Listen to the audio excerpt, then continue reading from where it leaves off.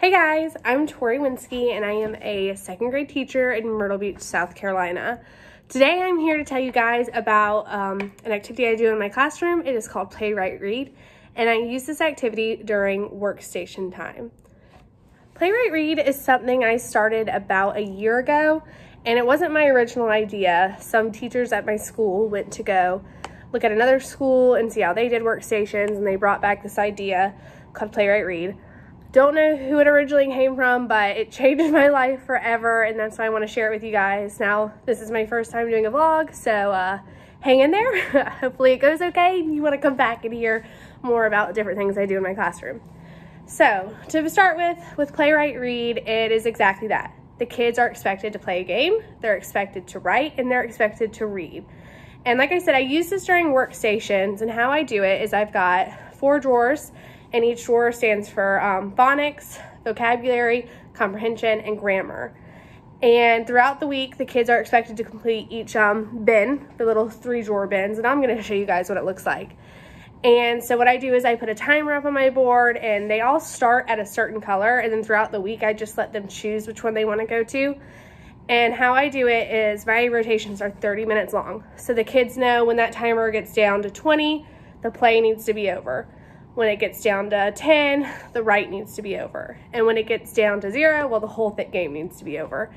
Um, I love it because it keeps me organized, it keeps the kids organized, and it's just a really fun and engaging activity, um, which we all need during workstations. You know, it's hard to keep the kids engaged independently without bothering you, without coming up to you and interrupting your group. So I have found that Play Write Read is one of the best tools for workstations um, because there's plenty for them to do. And it is, like everything else, it's gonna take time to put those procedures in place.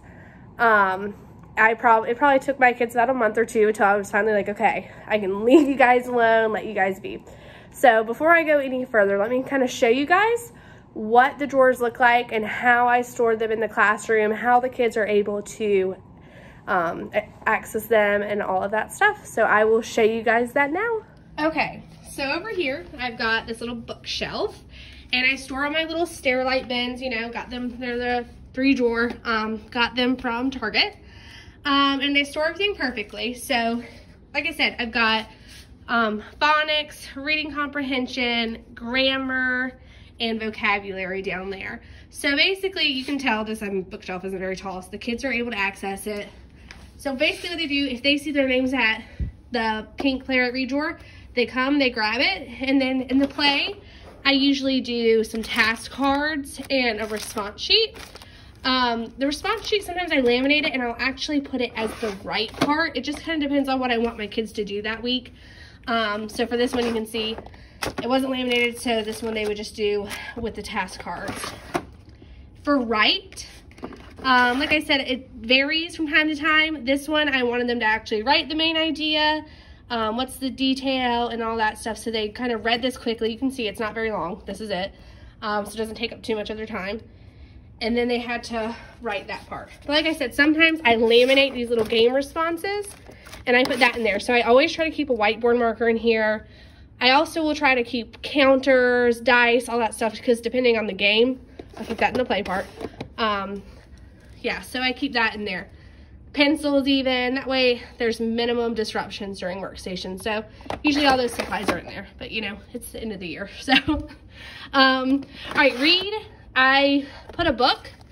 Um, that's because I haven't have enough copies of this one book for my groups so they could each have one and this one focuses on main idea. So this whole drawer for reading comprehension was main idea if I didn't tell you that already.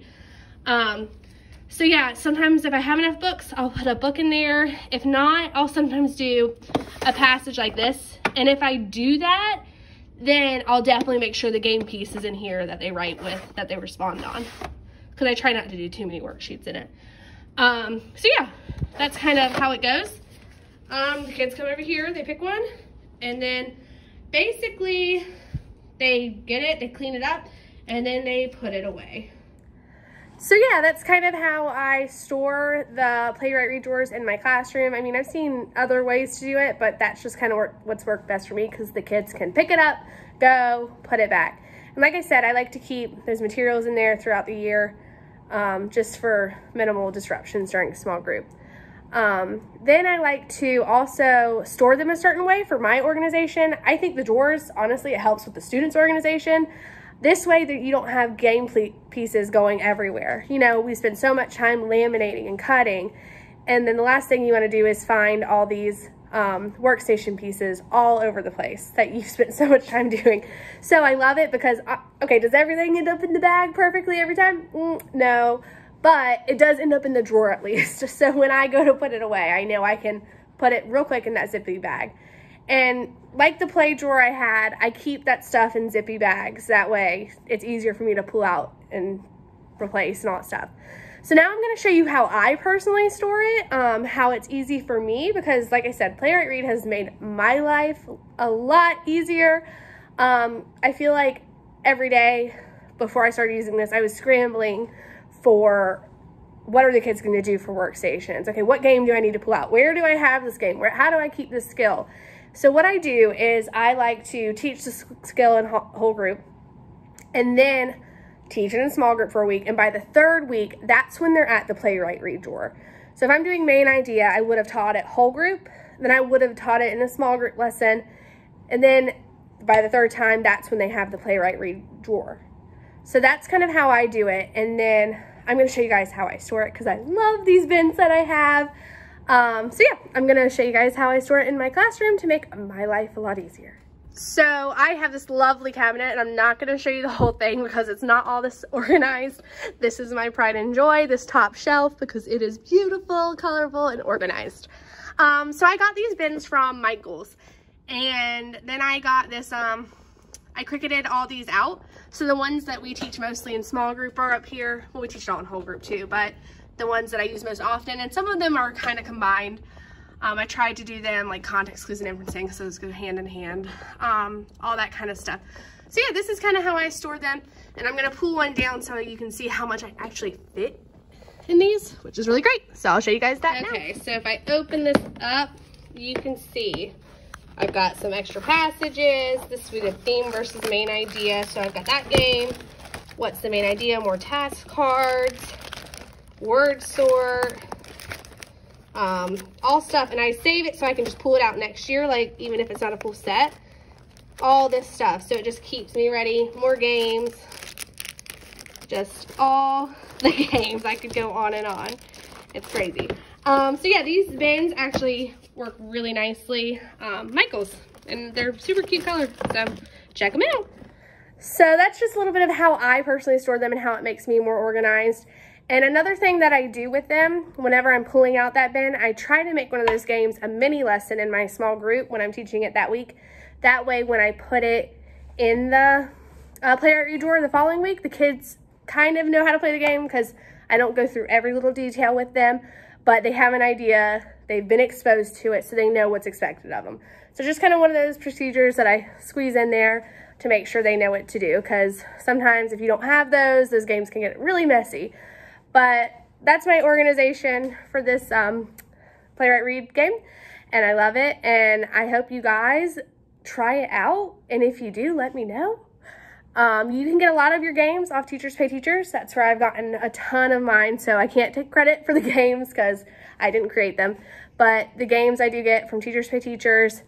I have a book room in my school, so a lot of the time for read, I do put the books in there. And sometimes when I don't have books, like I said, I do those passages or I try to do a book in like a basic graphic organizer. Um, so yeah, just some of the things I do with it. So I also want to tell you guys about how I hold the kids accountable because I'm sure you're all wondering, oh yeah, sure. These kids sit there and play a game and do the write and do the read.